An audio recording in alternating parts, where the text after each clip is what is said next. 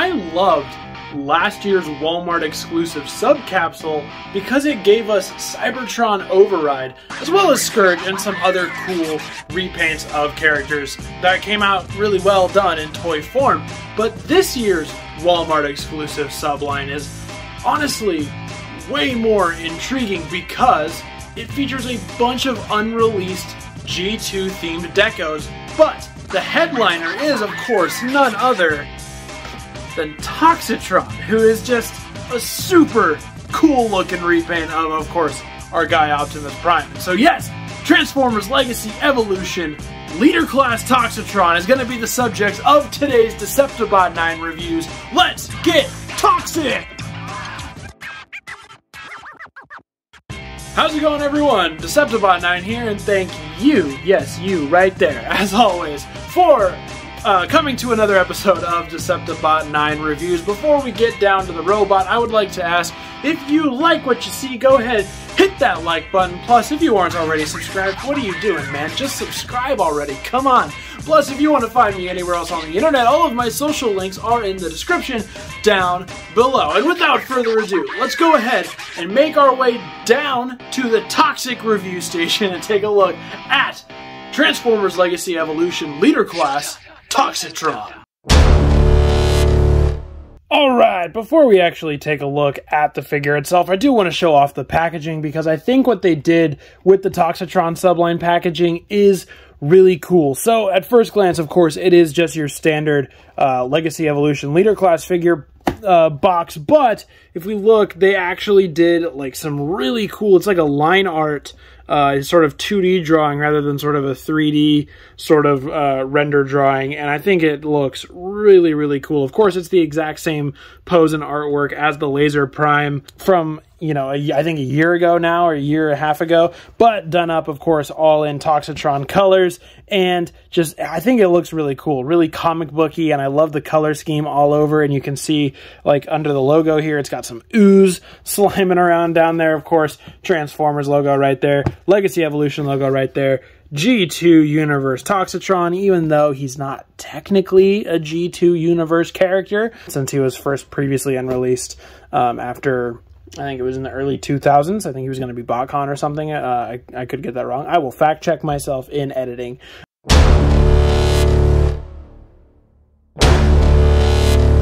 I mostly know him from the animated universe prior to this version, um, but which I would I would love to own the animated version of. Anyway, we're getting off track, and some beautiful, more beautiful line art going on over here. On the back is of course the product shots with you know little toxic logo going on there, so you can see a preview of the figure. Other side, I love this beautiful line art version of the typical legacy art, which will show kind of comparison here. Yeah, so like this is really cool, right? This is kind of like a 3D render drawing. This is all just like 2D sketch style. I absolutely love it. I think that's really, really cool. Up on the top, of course, Legacy Evolution, and on the bottom is just all your legal jargon. So now we will get to an overview of Toxitron himself here. And I, I love this. I think this is really, really cool. Uh, I feel like every version of the Laser Prime mold that has come out since the first one has just continually been better and better, despite nothing really changing from mold to mold. Uh, besides color scheme, there's I just I think I'm just falling more in love with it overall. Because when I first got Laser Prime, I was like, ah, I mean, he's got some cool stuff going on. but I think he's all right. I really, really loved Scourge, but I am also just really, really loving Toxitron. Uh, part of that could be character. You know, I love that Legacy is giving us a lot of unreleased, um, you know, decos that we've never had before, or characters that haven't had a figure since G1 days, or all that sort of stuff. So part of that uh, could be going into my love for a Toxitron. But yes, as you can see, he is up in his vehicle mode, just how he comes packaged. So let's go ahead and take a look at the details on Toxitron. All right, we'll do the cab just by itself, then we'll take a look at the trailer. So coming up here at the front, we get the grill and the bumper plate here, which are painted up in a nice, really shiny, sleek black. We get his headlights going on up there, moving up. Uh, not much paint deco going on here when we look at the front of the truck. It is, and is all done in this nice looking I guess like a lime translucent green. I'm not sure exactly what to call this color, um, but it is very, very appealing to my eye. We got nice purple translucent here on all of the windows. You can see the G2 Decepticon logo up there at the top, little horns and lights molded in at the top. Of course, we'll take a look here at the side where we can see a little bit more detail going. We got smokestacks here, a little more of that green, some silver, some inner working silver uh, going on there with the, whatever those are called. You know what I'm talking about. those things that are on trucks. Um, the wheels here, very, very cool as well.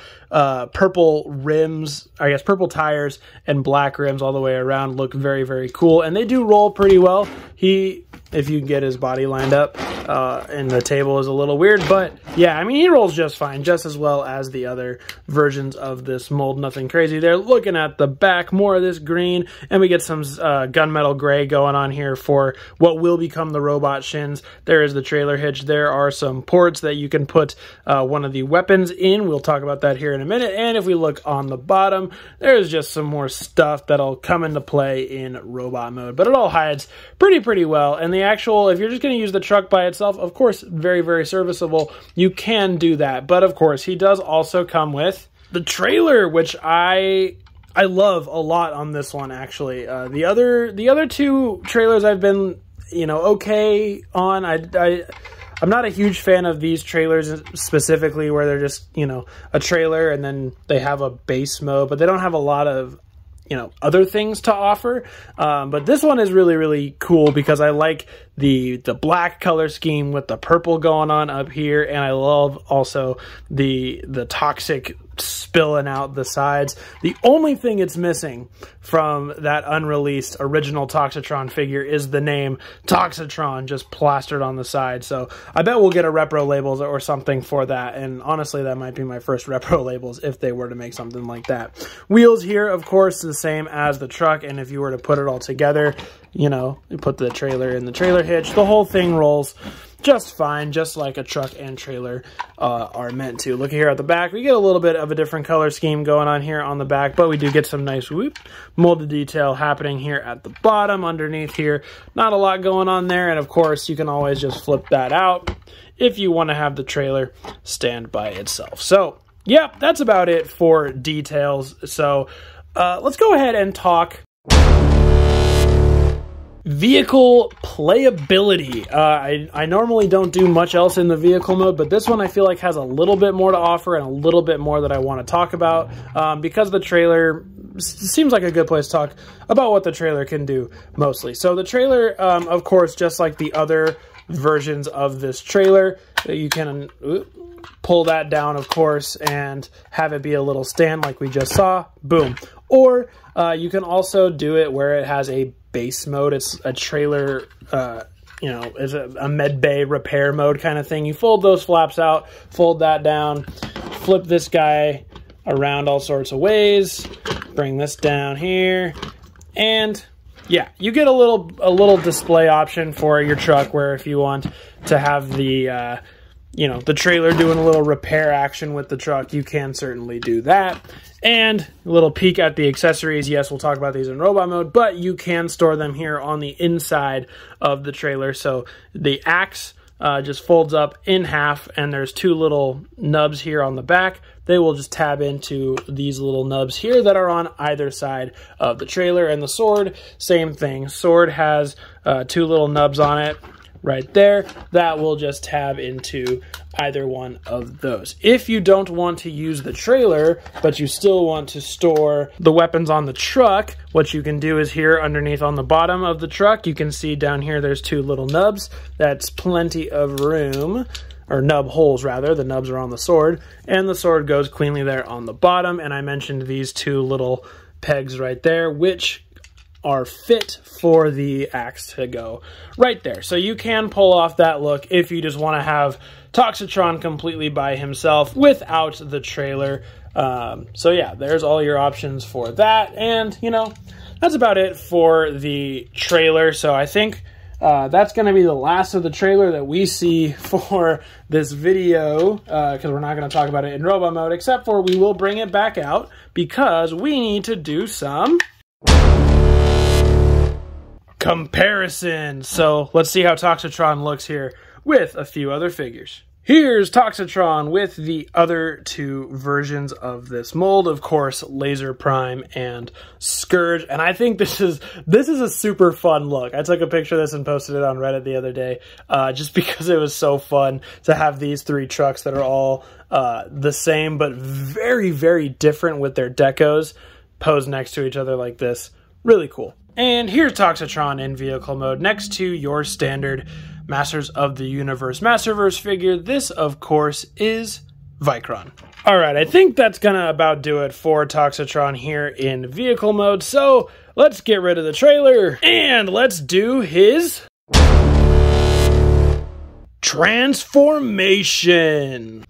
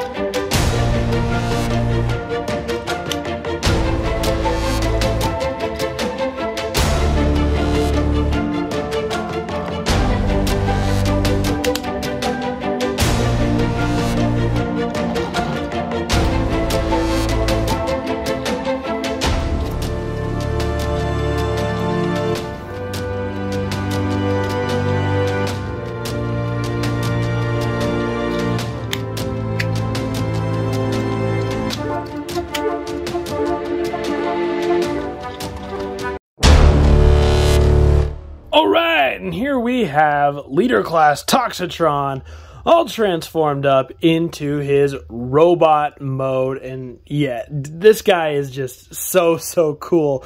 The deco on him is just absolutely beautiful and marvelous. I freaking love this thing all, all, around. Like I said, it's probably my favorite of the Laser Prime figures now, the Laser Prime mold now, just because I, there's something about this color scheme that just really, really speaks to me. Um, I don't know what it is with me and neon green apparently between him and Tow-Line, but anyway, let's go ahead and take a closer look at the details on Toxitron here in robot mode. All right, we'll come up here and look at that head sculpt, which is, yes, of course, the same as it is on Laser Prime and Scourge, but now done up with a nice uh, glossy purple on the outside and that nice green crest here um, for the front you know, sort of eyebrow section, as well as we get a little bit of silver going on in the head crest there. He's got red eyes in there. It's kind of hard to tell uh, with the way the light is shining. There you go. You can see it. And a nice silver face plate there. Moving up to the sort of shoulder and chest area, you can see he's got more of that green with purple on the outskirts here for the missile launcher sections. Moving down all this nice gunmetally gray happening on the inside of the shoulders and kind of the top section of the the torso bit, as well as a nice purple outline there on the uh, shoulder flaps, and you get more of that translucent sort of red, purpley, pinkish color going on with the silver around for the chest pecs. Uh, nice purple on the grill,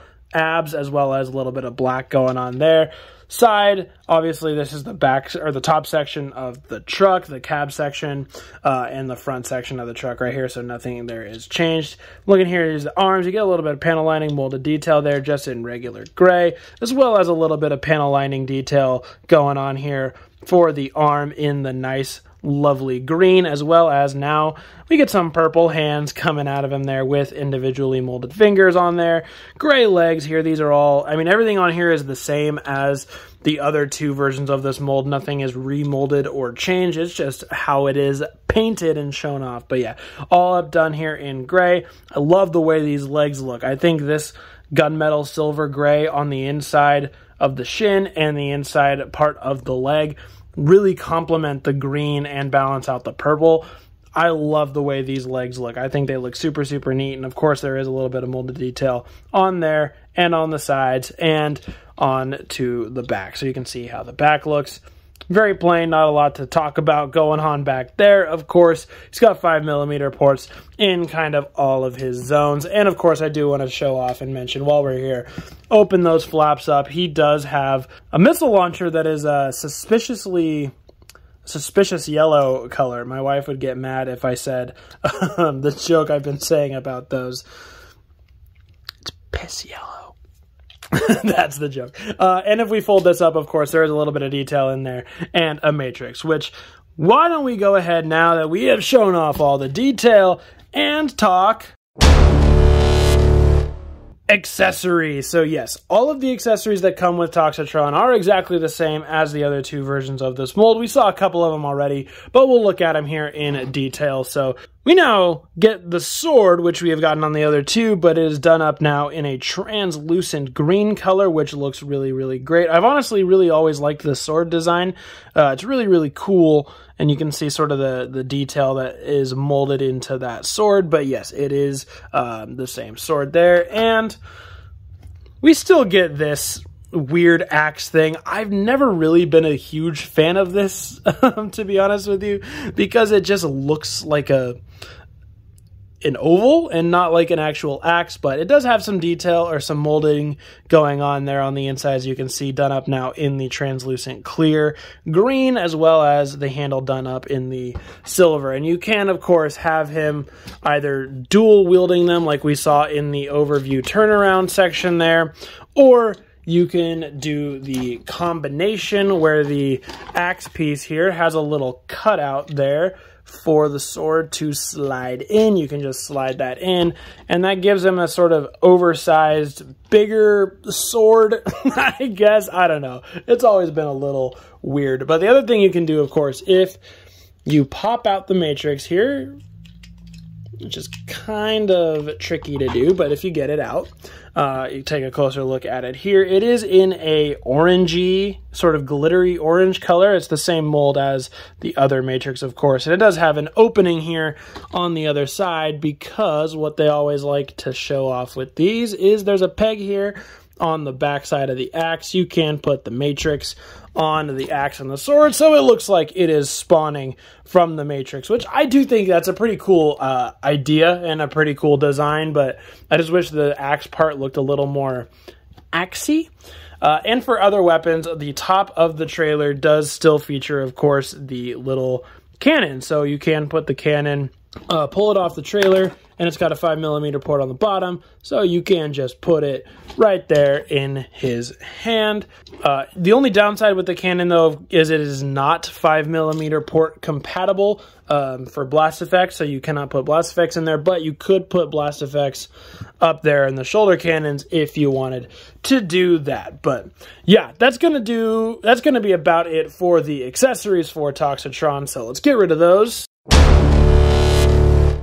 And let's cover articulation. So head up here is on a ball joint, which gets it going. Of course, spinning all the way around, looks up that far, down that far, uh, goes kind of side to side, so decent head range. Uh, and then, of course, the arms, which where we all wish the shoulder pauldrons moved, they do not move in tandem with the arm. You can move the arm flap forward, though, so the arm can go forward uh, that far. It can go backwards that far. It can go out that far, swivel up here at the bicep and bend at the elbow, which only gets it going about 90. Hands are on ball joints due to transformation, so for right now they'll just swivel because they can't go anywhere else.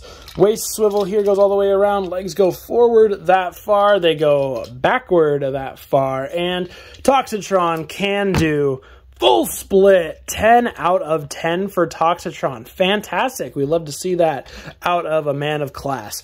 Um, there is a thigh swivel up here as well, a knee joint that goes a little bit over 90, and the feet do hinge inward that much and the toes are posable due to transformation if you want to mess with that. So yeah, I mean, it's nothing crazy with Toxitron, nothing spectacular, but it is decent and you can get some pretty solid poses out of him and I think he looks great. So let's go ahead and do a couple quick comparisons. Here are the three Laser Prime molds all together now, and it's just still like the fact that these are the same mold but they have such wild deco differences is really incredible. Um, and yeah i mean uh, laser prime is easily the most boring out of them. These two are both really spectacular. I love both scourge and toxitron i'm really glad we got these two and here he is with Vykron all right, Toxic Crusaders, that's going to be about it for my closer look at Legacy Evolution Toxitron. So let's go ahead and I already used Toxic, I think. Let's go ahead and Toxic our way back up to me for my final Toxic thoughts. All right, so what are my final thoughts on Toxitron here? Well, I think he's really, really fun. He is super spectacular as a figure. I mean, the mold itself is it's not my favorite mold that Legacy or Legacy Evolution has produced, but there's something about the Scourge Deco and this Deco specifically that just really, really helped this mold uh, shine very, very well. Um, and of course, I'm a sucker for unreleased characters, previously unreleased characters, or characters that we haven't seen in a long time in toy form. So, a proper generation style Toxitron uh, is a whole lot of fun to add to my collection, and I just this, this deco is so so cool. I love this color scheme. Whole lot of fun with this guy. If you can find him uh, at Walmart or on Walmart.com, or if they put any more back up on Pulse, definitely definitely recommend grabbing this guy if you can. Alright guys, that is going to do it unfortunately for another episode of Deceptibot 9 reviews. Please don't cry, it's okay. I will be back soon, I promise. Guys, as always, thank you for sticking around all the way to the end of the video. It does really truly mean a lot to me, and I've been your host, Deceptibot9. Thank you, as always, for watching. Remember to stay toxic, and I will see you guys later. And sit down.